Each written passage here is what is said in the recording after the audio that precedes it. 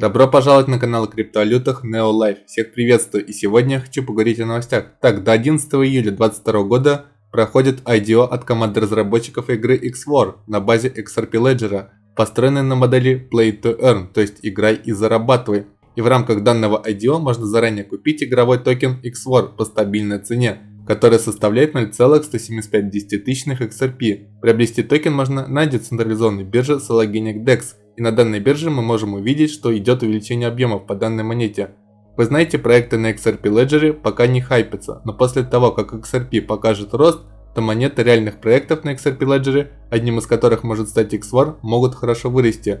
Также команда XWAR твердо верит в будущее XRP и выбрала Ripple как одну из лучших компаний в криптопространстве. Более подробную информацию можно почитать на сайте игры, а также все ссылки будут в описании к видео. Еще одна новость. Visa запускает в Латинской Америке карты с поддержкой криптовалют и объявила, что хочет дать как можно большему количеству людей возможность использовать криптовалюты через свою платежную сеть. Криптовалютная экосистема продолжает развиваться и расширяться в Латинской Америке благодаря увеличению инвестиций и широкому принятию потребителями и большому количеству вариантов использования.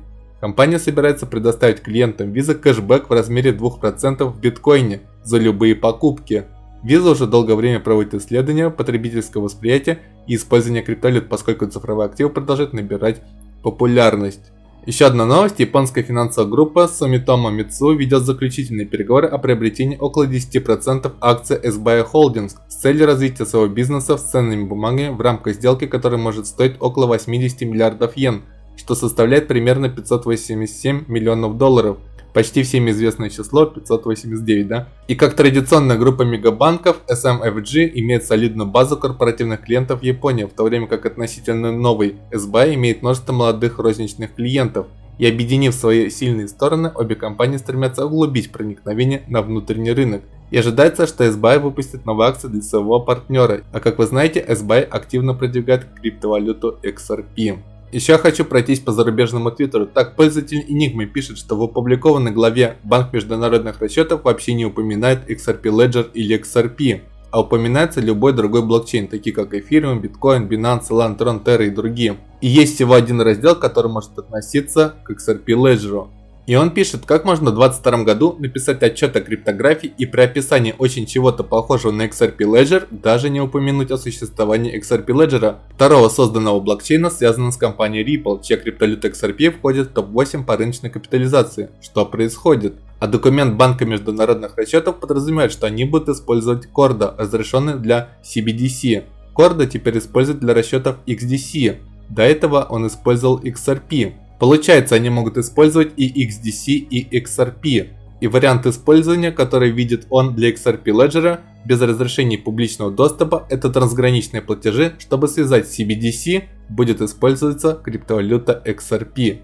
И любопытно, что именно эти две монеты, которые инсайдер Мистер Пул явно выделял из всех, были XRP и XDC. И также он пишет, что, кажется, метафора дерева пришла из Xinfin, а Xinfin это как раз продвигает криптовалюту XDC. Также пользователь Лорд Ричард говорит, что некоторые до сих пор думают, что криптовалюты навсегда будут состоять только из биткоина и эфириума. Простите, говорит он, но вы не правы. А пользователь Баба Яга пишет, что Банк международных расчетов представил новую будущую валютную систему, и время будет решать все. Также еще подошли новости от Flare, как вы знаете, запуск состоится 4 июля. И после запуска основной сети Flare, первоначальное распределение Flare в размере 15% будет раздаваться претендентам на моментальный снимок от декабря 2020 года. А как только 75% от 15% Flare будет доступно для заявителей, мы проголосуем по нескольким предложениям по управлению. А делегировать Flare можно будет у компании FTSO без риска, и это легко будет сделать. Также децентрализованные приложения будут доступны как можно быстрее и ожидайте поэтапного развертывания F-активов. Также пользователь Panasmac пишет, что я очень оптимистичен в отношении Avalanche Flare XRP Ledger. Видя базовые технологии, инновации и проекты, которые строятся на их основе и активность в этих цепочках, я очень взволнован в будущем криптоиндустрии, пишет он. А пользователь Stedus выкладывает фото, где мы видим огромную рекламу XRP Ledger. И он пишет, что XRP Ledger это книга, которая никогда не спит. Также не очень приятная новость от компании Google, которая продолжает вставлять палки в колеса авторам YouTube каналов. И помимо отключения монетизации просмотров из России, теперь они еще отключили способ вывода денег через систему Rapid. И получается, что с каждым разом все хуже и хуже условия для YouTube блогеров. Поэтому если вам нравится мой контент, можете поддержать автора по реквизитам в описании к видео. И в заключение данного ролика Кеннин Гуэн пишет, что когда судебный процесс Ripple закончится, то международные банки, компании по денежных переводам, финансовые учреждения и частный сектор будут конкурировать с вами, чтобы накопить и купить XRP. Помните правила спроса и предложения. Поздравляю всех будущих миллионеров. Спасибо за внимание, я надеюсь вам нравится мои видео. Подписывайтесь на канал, оставляйте свои комментарии, ставьте лайки. Кто хочет может поддержать канал. Всем до новых встреч и пока-пока.